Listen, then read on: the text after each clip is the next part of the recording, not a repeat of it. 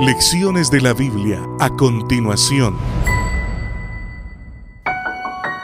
La lección bíblica para el día de hoy lleva por título Las últimas palabras de Jesús. Vamos a leer una parábola de Jesús que se encuentra en San Mateo, capítulo 25, versículos del 1 al 12. Dice así. Entonces el reino de los cielos será semejante a diez vírgenes que tomando sus lámparas salieron a recibir al esposo. Cinco de ellas eran prudentes y cinco insensatas. Las insensatas, tomando sus lámparas, no tomaron consigo aceite, mas las prudentes tomaron aceite en sus vasijas, juntamente con sus lámparas. Y tardándose el esposo, cabecearon todas y se durmieron. Y a la medianoche se oyó un clamor. Aquí viene el esposo, salid a recibirle. Entonces todas aquellas vírgenes se levantaron y arreglaron sus lámparas. Y las insensatas dijeron a las prudentes, Dadnos de vuestro aceite, porque nuestras lámparas se apagan. Mas las prudentes respondieron diciendo, para que no nos falte a nosotras y a vosotras, id más bien a los que venden y comprad para vosotras mismas. Pero mientras ellas iban a comprar, vino el esposo, y las que estaban preparadas sentaron con él a las bodas, y se cerró la puerta. Después vinieron también las otras vírgenes diciendo, Señor, Señor, ábrenos.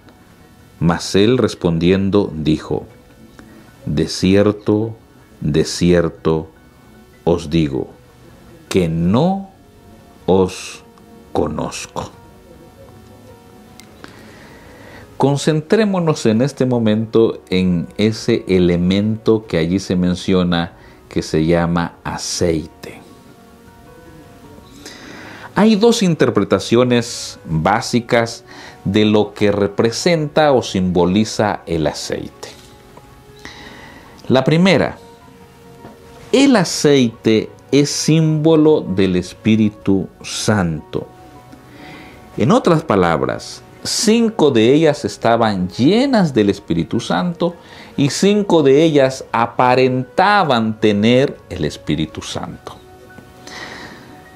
Segunda interpretación, el aceite es un símbolo del carácter. Por eso no puede ser compartido. No podemos ir a la tienda y pedir también cierta cantidad de carácter. Porque el carácter es lo que somos cuando estamos solos, dice un autor por allí.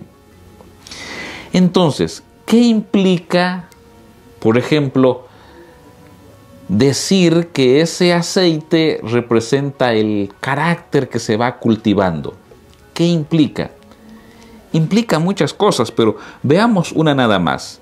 En el Evangelio de San Mateo, en el capítulo 25 y los versículos 31 al 46, hay otra parábola. Y esta parábola es de las ovejas y los cabritos. Bueno, cuando usted estudia esta parábola, descubre que solamente hay dos grupos, ¿verdad? Están las ovejas y los cabritos.